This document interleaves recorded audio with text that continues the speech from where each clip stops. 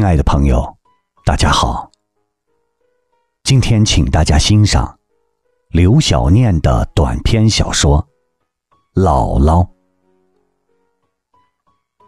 时至今日，我依然不知道自己的父亲是谁。在外打工的母亲生下我，便把我丢给了外婆。舅舅姨妈坚持要把我送人。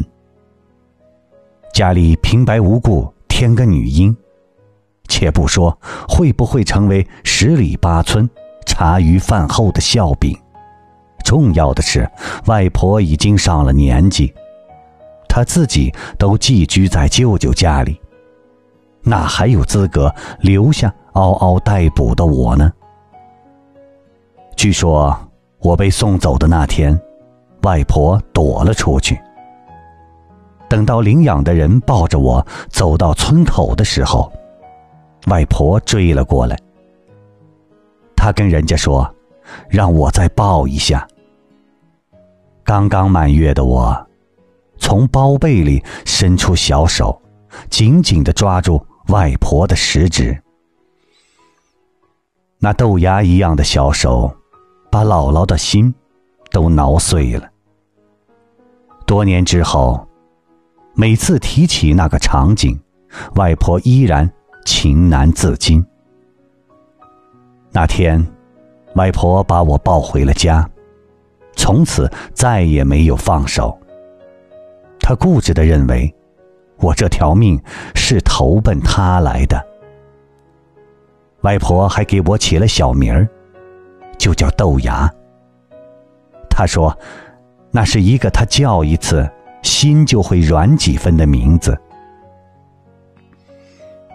可想而知，从外婆抱着我回到舅舅家院子开始，舅妈就开始指桑骂槐了，骂舅舅无能，骂家里两个孩子拎着一张嘴就知道吃，骂自己嫁给李家瞎了眼。舅舅越劝他。他就骂得越大声。也是从那天起，外婆再没进舅舅家门。他租下一户人家的西厢房，开始了我们相依为命的生活。乡亲们纷纷劝他，一把年纪了，不在儿子家住会让人笑话的。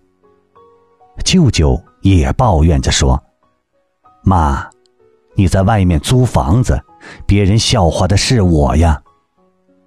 这话惹恼了外婆，她说：“我三十五岁守寡，把你们仨养大，从没动过把你们送人的心思。现在，我替我姑娘把孩子养大，有什么可笑话的？你的面子，比一条人命还大吗？”外婆赶走了舅舅，她说不会去拖累他们，决定了养，就要好好的养，不会让我寄人篱下，受人白眼。就这样，外婆重新拿出二十五年前丧偶后的倔强与坚强。我妈寄来的生活费根本不够，她便买来一些鸡蛋。孵出了很多小鸡，公鸡养大了，拿到集市上卖钱。母鸡生蛋后，蛋黄加在米糊里喂我，外婆吃蛋白。他还在房后的山脚下开垦出一片菜园，一半种菜，一半种葡萄，四周种上向日葵当栅栏。葡萄下来的时候，外婆用背带背着我，手里拎着葡萄筐去集市上卖。路上就带些自己做的煎饼充饥。谁知道，有人以为煎饼也是卖的，扯了一脚尝过后赞不绝口。从此以后，外婆日常开始烙煎饼，逢集再去卖。攒了一点钱后，外婆买了一辆电动三轮车。每隔两天，我们祖孙俩就去赶集，中午时分再呼啸着回来。归来时，总有乡亲们围过来参观外婆的战绩。每次他都会给我买些小零食，也会分给同村的孩子们，也因此我有着全村最好的人缘。冬天，小伙伴们。都跑到我和外婆的小屋里玩闹，外婆就用大锅炒瓜子儿给他们吃。那小小屋子的果仁香弥漫了我整个童年。有一次，外婆又炒了瓜子儿，我揣了两兜，就往外面跑，跑到在河边玩的表哥表姐那里，把瓜子儿硬塞到他们兜里。然后我们仨在河边摸鱼。那天，我摸了大概二十多只泥鳅。晚上，外婆给我做泥鳅炖豆腐，好大的一锅。我盛出一碗，悄悄端着往舅舅家走。谁知心里太兴奋了，快进舅舅家门时，一下绊倒了。九岁的我。看着泥鳅豆腐撒了一地，嚎啕大哭。闻声出来的舅妈把我扶起来，把没有摔碎的碗冲洗干净，给我装了一碗刚出锅的豆角炖肉。搞笑的是，我急着献宝一样拿给外婆，传递着友好的信号，可是快到家里时，又摔了个狗啃泥。这一次，我哭得上气不接下气。外婆、舅舅、舅妈、表哥、表姐都被我吸引了过来。外婆扶起我，给我擦眼泪。这时候，舅妈转了回去，又给我们盛了碗新的。当天晚上，外婆看着那盘豆角炖肉，一块都没动。眼圈红红的。从那以后，他做了好吃的，都会打发我给舅舅家送去，而舅舅家也会时不时的送过来吃的用的。表哥表姐更是时常在我们家玩着玩着，干脆就不走了，留下来过夜。外婆看着我们仨睡在床上，眉眼都是笑意。他没事就对我念叨：“丫丫，你是咱家的福星，有了你这个机灵鬼，我跟你舅妈的关系才会缓和呀。”我说：“如果没有我，你们也不会弄僵呀。”外婆说：“那不一样，他们终于长心了，是你这个小东西懂事儿，把他们的心给暖化了。”外婆总是这样，把我说的跟花儿一样好，说我以后肯定会有出息。就连眼角那颗令我讨厌的小黑痣，她都会说那不是痣，那是福气。而我，自小被外婆教育的能说会道，我说：“姥姥，有你就是我最大的福气。”不然，我现在肯定是一个漫山遍野放牛、鼻涕冒泡的野孩子了。外婆笑得眼泪都出来了，你这张小嘴呀，真是哄死人不偿命啊！豆芽这孩子，嘴是真甜呐。这是全村人对我的评价。幼小的我就善于察言观色。乐善好施，我曾一度以为那是我的天赋，是一个有妈生没妈养的孩子练就的求生本能。但后来我才慢慢的觉悟，心甜，嘴才会甜。是外婆罕见的富养，让我没感到过悲惨，让我自由奔放，足够阳光。十三岁那年，我见了妈妈一面，那是我记忆里为数不多的几次见她。她是在一个天擦黑的傍晚，摸索到了外婆和我的家。她穿的花里胡哨，浓妆艳抹。他用特别绝望的语气对外婆说：“我替那个男人坐了几年牢，他不但不感恩。”还骗我。他跟房东说我们要搬家，把租金全退了，害得我连个住的地方都没有。妈妈全程都没怎么看我。外婆听完他抱怨，开始跟他夸我，夸我懂事，夸我有人缘，夸我学习好。妈妈依然不看我，只是红着眼睛说。我就知道把孩子交给你错不了。我本来想多赚点钱寄回来，可是运气太差了，都被老男人骗光了。不说了，不说了，想吃啥，妈给你做。外婆一边擦眼泪，一边下地包饺子。我们仨默默的包饺子，谁也不说话。我妈吃饺子的时候，外婆看她的目光让人心碎。我临睡前，妈妈去上厕所，我看见外婆把一叠零钱放进妈妈的包里，那目光一样令人心碎。她是疼妈妈的，我看得出来，很疼，很疼。第二天一大早。我醒来的时候，妈妈已经走了。舅舅得知妈妈回来后，骂骂咧咧的，说话极为难听。外婆让舅舅闭嘴，把他撵出了家门。那天，外婆一直魂不守舍，切菜时伤了手，捡鸡蛋时，踩碎了一只。晚上我放学回来，看到他手指上的伤口，大呼小叫。不肯再让他做家务了。我剁鸡食、生火、做饭，外婆围着我转。她终于艰难的开口：“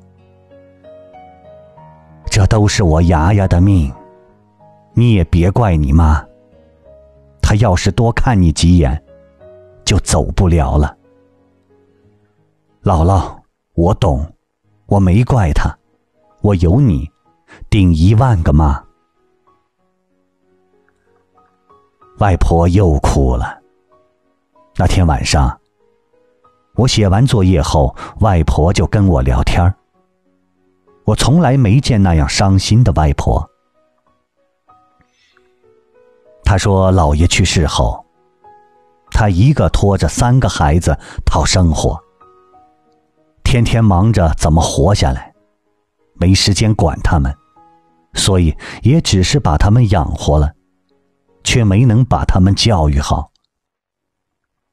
你妈如果不是因为缺少父爱母爱，也不可能老被男人骗。她都不记得你姥爷的样子，我又粗心，所以她这辈子都在找爹疼，找妈爱。如果也像养你这么养他们。是不是他们也会像你一样优秀呢？优秀，这是外婆给我的评价。而优秀的我，默默听着外婆的倾诉，一边给她擦眼泪，一边给自己抹眼泪。然后，不知天高地厚的承诺：“姥姥，你放心吧，以后。”等豆芽有出息了，豆芽养你的老，也给我妈养老。听了我的话，外婆又哭又笑，说自己真有福。我的傻外婆，如果不是因为我，她现在可以像村口那些爷爷奶奶们一样，每天晒晒太阳、聊家常，颐养天年了。把一个累赘爱成父亲，这需要多少的爱和勇气呢？初三那年，发生了一件令我后悔终生的事儿。那时候的我，一度非常迷恋音乐，可家里没电视，也没有录音机。看着同学们都有随身听，我做梦也想拥有。可我不敢对外婆说。我知道，尽管妈妈偶尔会打来一点生活费，但那是杯水车薪，也仅仅维持我的学杂费而已。而外婆呢，能把我养大已是不易了，他没有余钱。为了实现日思夜想的愿望，我偷了外婆压箱底儿的金戒指，在老家。每个六十岁以上的老人，都会想方设法的为自己买个金货傍身。一为辟邪，二为离世后给亲人留一个传世的念想。外婆的那枚金戒指，缝在一件旧棉袄的里子里，而旧棉袄就那么随意的盖在一个咸菜坛上。外婆曾经得意的对我说：“丫丫，我是不是挺有心眼儿的？”是啊，若非内奸，或者准确的说，除了我，没有人知道外婆的戒指放在哪里。而当时的我，太渴望一个随身听了，于是，我连那件旧棉袄一起拿走了。骑着自行车跑到县城回收金子的地方，卖了戒指，买了随身听。可想而知，外婆发现戒指丢了之后，哭得有多么伤心。村子里的人闻声纷纷前来帮他破案。大家一致认为，没有人会打那个破棉袄的主意，除非有内奸。而这时候。外婆突然不哭了，开始言之凿凿地说：“好像记得有个外地货郎进过我们的家。”他大骂出口，说那些人根本不是卖货的，就是专业的小偷，眼睛毒得很，而且打一枪换一个地方。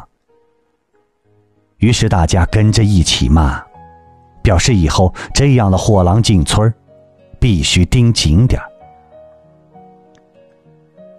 晚上，我看着外婆一边生火一边发呆，心里难过极了。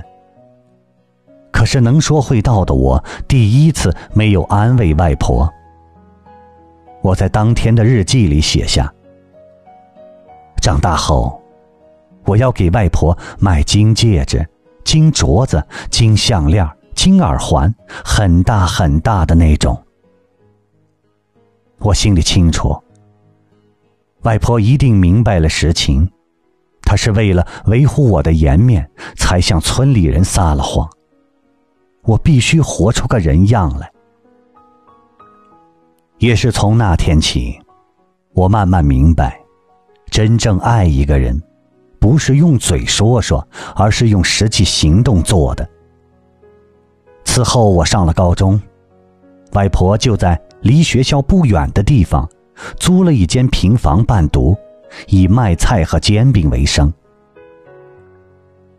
等到我考上了大学，外婆非要送我来读书。